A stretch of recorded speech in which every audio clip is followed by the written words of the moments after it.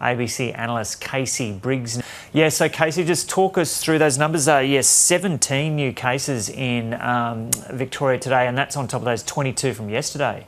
Mm, that's right. That's uh, the number that I'm watching most closely uh, at the moment 17 in Victoria. So 11 of those are linked to this one Melbourne abattoir. Uh, there were 19 linked to that abattoir yesterday, six the day before that, eight the day, the day before that. So we've got 45 uh, cases now in total in that single cluster. That is the biggest cluster in the country at the moment. That is the one that we're watching most closely to see uh, if it can be brought under control quickly. And we probably need to see a couple more days worth of figures uh, to know what the trajectory is looking like there. Around the rest of the country, three cases in New South Wales. We do know that there's one more uh, staff member of uh, Newmarch House that is uh, has been tested positive but wasn't counted in this reporting period for technical reasons. They'll be included tomorrow. Uh, and Queensland, five new cases, but effectively just two because three of those are interstate cases uh, that will be removed from the other states' totals uh, because they're residents of.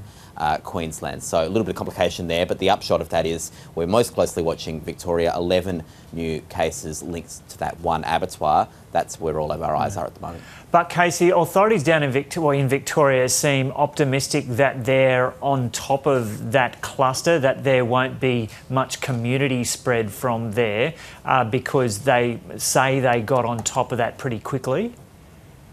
That's the hope, and that's what we're waiting to see if the numbers uh, bear out. I guess one other thing you could say about that cluster is uh, it's probably a, a profile, a demographic quite different to many of the other clusters we've seen uh, in two uh, aged care homes in, New, in Sydney, we've seen very high fatality rates in those clusters because of the profile of the patients. Similarly, in northwest Tasmania, because it got into hospitals, uh, we've seen vulnerable people affected, and so we've seen quite high fatality rates. You have to think uh, this abattoir probably has younger people, fitter people, uh, people less likely to pass away. So that's at least mm. one good sign about about this uh, this cluster. Yeah, I think they've got uh, 350 staff at that abattoir, so we can possibly expect that number to grow further in the coming days. Okay, uh, let's take a global perspective now. just passed over a quarter of a million deaths worldwide.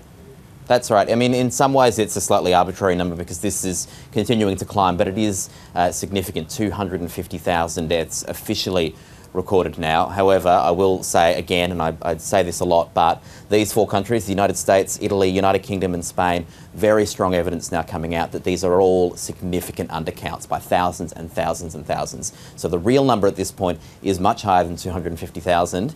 Uh, we just don't know what it is uh, truly yet, and it's going to take some time for those studies to be done, but a, a significant milestone today nonetheless. And take us through what's been happening with other medical conditions through this pandemic. Yeah, so we know flu symptoms are down significantly on where they uh, usually would be at this time of year. Uh, what we're and also this is in seeing, Australia. In Australia, yes, specifically in Australia, but um, patterns like this are playing out around the world. But in Australia, we know uh, flu notifications, flu-like symptoms are down. We're also seeing this pattern for lots of other diseases. Let's take you through a couple.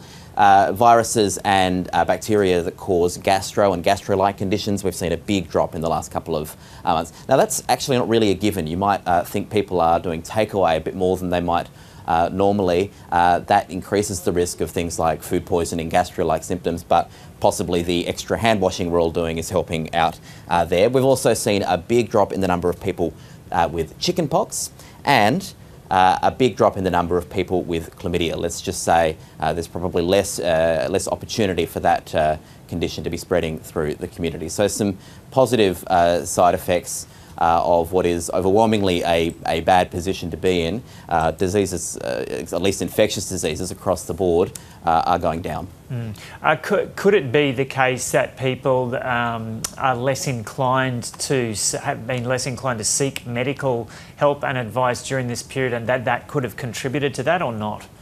Probably, it probably is a bit of both. We've seen GPs uh, talking about, you know, they're concerned that people are letting um, preventative healthcare go by the wayside because they're fearful of leaving the house or going to doctors or going to hospital. So probably in some shape or form that would be a contributor, but I think it's also undeniable that in the case of chlamydia, chickenpox, gastro, uh, there are less vectors for transmission at the moment. It's yep. probably a bit of both. Yep. Okay, Casey Briggs there.